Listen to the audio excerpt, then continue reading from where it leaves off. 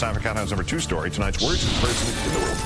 LeBron's to Lou Dobbs of CNN, whose craziness seems to be impacted by the phases of the moon.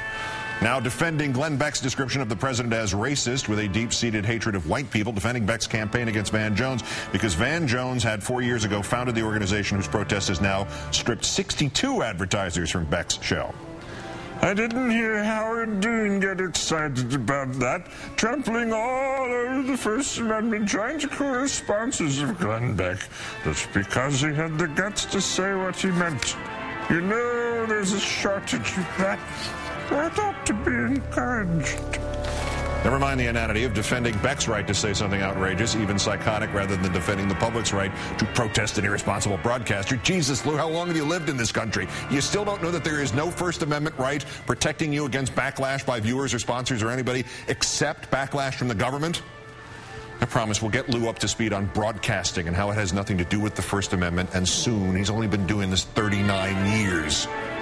Our runners up, the host of Cluster Fox and Friends, right into the Republican talking points this morning in defense of Congressman Shoutout. And wow, are those talking points thin on the ground. Brian Kilmeade. Didn't Pelosi, the speaker, call CIA a bunch of liars? Steve Doocy. But when House Speaker Nancy Pelosi called the CIA liars and Congress called President Bush a liar, was there outrage there? Yes, plenty. Most of it by you charlatans. You left out Dixie Chicks. You buffoons started a blacklist at a musical group for being critical of the president while they were in London. Wilson interrupted this president in his audition as a real man of genius.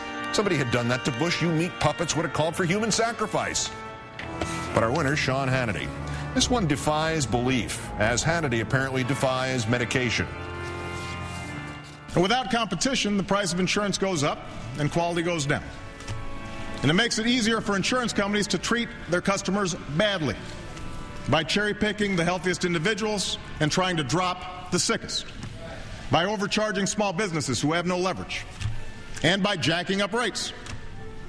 Insurance executives don't do this because they're bad people, they do it because it's profitable. Insurance executives don't do this because they're bad people, they do it because it's profitable. So Hannity's response? I hope you're sitting down. When he said tonight that insurance executives are bad people, I, it took me back because it was so harsh and I think unfair, but it's part of their polling. Took me aback. Aback is the word, Sean.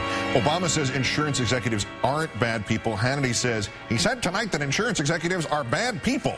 If you ever need a Fox News bald faced lie for argument or debate, use this one Wednesday, September 9th, 2009.